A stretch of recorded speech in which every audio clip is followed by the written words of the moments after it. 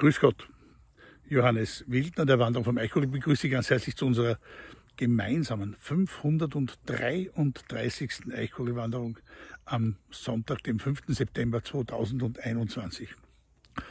Sie sehen, ich bin nicht am Eichkogel, sondern ich gehe über eine Wiese, wandere hier in Bayern, in der Nähe von Regensburg, in der Ortschaft Donaustauf an der Donau. Die ist hier hinten unten Donaustauf, das klingt natürlich so, dass man sich dafür interessiert, was wird denn da getauft? Die Donau vielleicht oder irgendjemand in der Donau?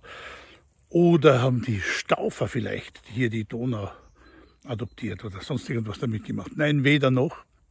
Das Donaustauf oder Donaustauf kommt von dem Mittel- oder Althochdeutsch, sogar Althochdeutschen Stove. Und das heißt Burgberg oder Felsen auf dem eine Burg steht. Das ist ein Stauf und hier war also der Felsen, wo eine Burg gestanden ist, wo man die Donau gesehen hat. Hier sieht man noch etwas ganz anderes, nämlich hier hinten die Walhalla. An der Talschulter der Donau ist sie hier platziert. 1842 ist sie eröffnet worden, eingeweiht worden, war ursprünglich ein bayerisches Projekt, ein Projekt der bayerischen Könige und ist dann zu einem Gesamtdeutschen natürlich geworden ab 1871.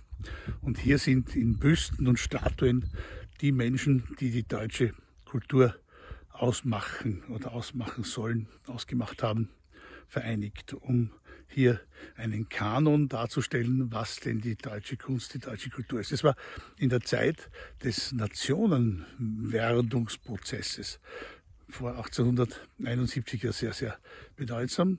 Heute schmunzeln wir vielleicht über die eine oder andere Attitüde dieses Projekts. Aber wenn man vorbeifährt, ist man beeindruckt, dass man hier mitten an der Donau im Weichbild von Regensburg einen griechischen Tempel sieht, der eigentlich sehr schön ist. Und wenn man drin ist, wundert man sich immer, wie viele Menschen hier wie viele Dinge gemacht und gedacht haben.